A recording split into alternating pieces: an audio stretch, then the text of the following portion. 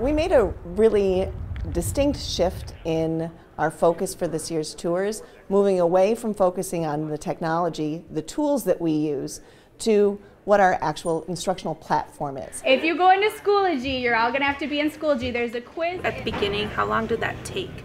To make them, I think that one to one is kind of an old-fashioned term right now. Right now, these students are three to one, four to one. So I have really, I really wanted to know this year of how they were tying this framework into that technology piece that is the driving the education um, of their students here at Minnetonka. Students will be able to set up their experiments and then just run them for as long as they need.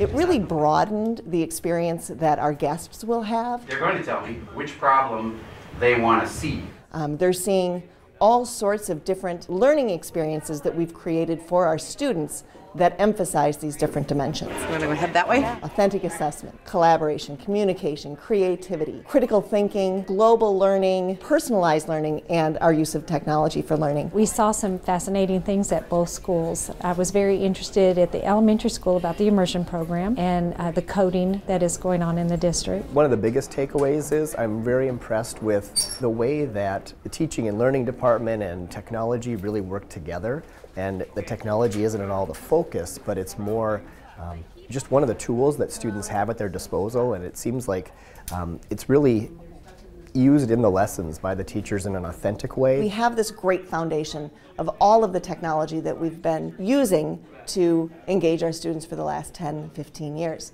Now that we have that, it, it becomes part of the background and we focus on, we share the experiences that our students and teachers are having. This framework really provides that opportunity for teachers to think about how can I take what I'm doing and go one, cent, one step further by making one little tweak to a lesson or to a unit, um, it will lead to greater engagement and deeper learning. I've always believed that it's not about the tool, it's not about the device, it's about the why behind our technology. And I am really finding out the why of what they're doing, having that technology piece, but also incorporated into those that framework. This is my third year.